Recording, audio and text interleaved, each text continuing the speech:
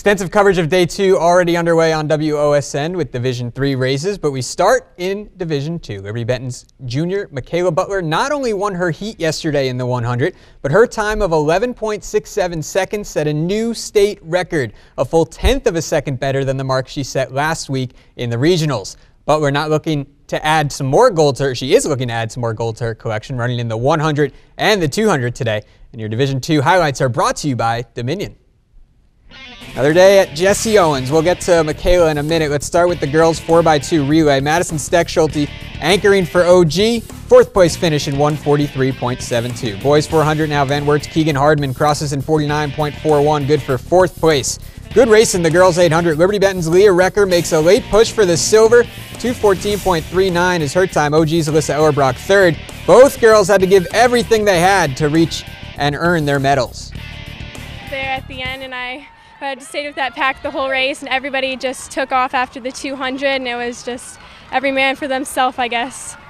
A crazy race. We came out and we, ran, we ran hard that first lap, and that second lap was even tougher, but we stayed strong at the end, and I thought I saw the end, but they came up and they came around me. They all ran a good race, and it's been a really good senior year. Three-time state champion Sarah Canny competing in her final state meet, places third in the 1600, 503.18. Also competing in the 3200, 11, 13.94. Seventh place finish to finish her career on the podium. I'm just thankful for the four years I've had here. I made a lot of memories, and um, I mean today wasn't wasn't my day, but those days work you up for the best days. So I think it keeps you hungry for Sarah. Coldwater also represented by Dan Sees in the boys 3200. 928.88. He earns third place. Nice run by Dan. Girls 4x4 Versailles anchored by, anchored by Camille Watron Silvers. Final time of 356.70. OG and Alyssa Ellerbrock fourth. Boys 4x4, exciting finish. The top four teams separated by four tenths of a second. Van Wert and Hardman take fourth.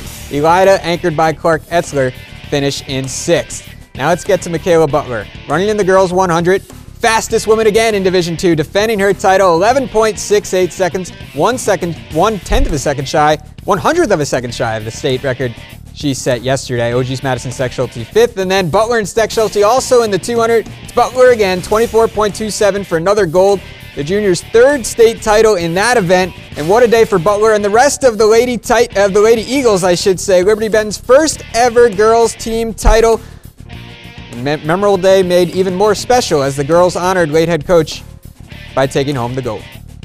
Consistently, it feels absolutely amazing, and uh, it's not anything that I take for granted. It's an amazing opportunity to be out here and such a blessing.